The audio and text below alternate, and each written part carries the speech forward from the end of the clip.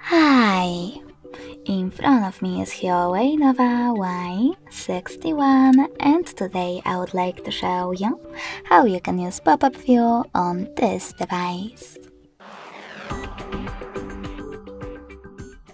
First of all, you need to open one of your apps that you wish to use in this view. In my case, Gallery. Now click on this square button at the bottom left corner to access background apps. Finally, you need to click on this one at the top right corner.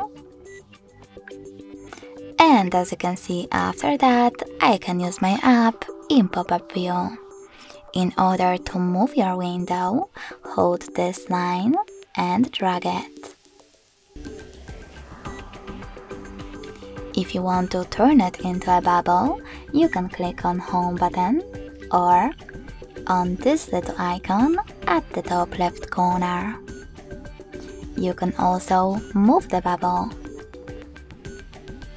To use it overlay the other app, just access the other one and operate in both.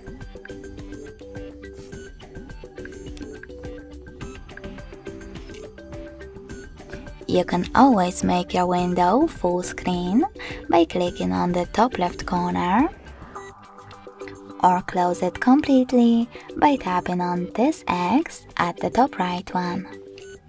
You can also close it by turning it into a bubble, holding the bubble and swiping it to the pin icon.